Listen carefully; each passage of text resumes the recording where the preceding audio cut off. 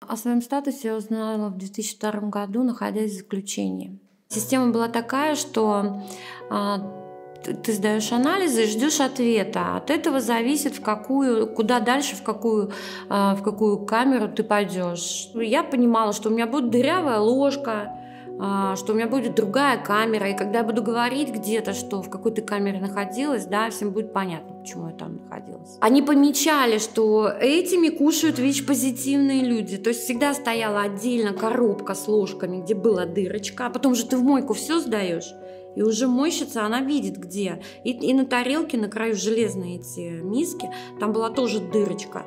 То есть она убирала это в сторону. Если сейчас разбираться, что, от чего я больше плакала, вряд ли я плакала из-за ВИЧ, потому что я реально не понимала ну, всей, всей угрозы. Да, у меня не было столько информации об этом заболевании, потому что тот образ жизни, который я вела тогда, ну, э, как бы сам по себе был настолько нелогичным и опасным, что что было страшнее, сам тот образ жизни или ВИЧ в тот момент, сложно сказать пришел человек, а, который не начинал там, с которым я не чувствовала себя виноватой.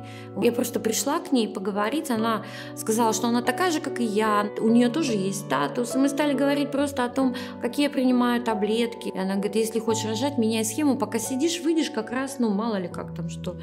И то есть вот этот простой житейский девчоночий разговор, ведь я правда могу выйти еще и родить, почему бы и нет, собственно и начать все сначала. И это кардинально меняет все. Оно не, ежес... не ежеминутно, но ты уже делаешь шаги такие, которые позволяют тебе встать на лапы, перестать винить себя и вопреки своим статусам, недостаткам, там, возрасту, чему угодно, иметь жизненные силы, уверенность в себе, желание жить, быть любимой, любить и помогать другим.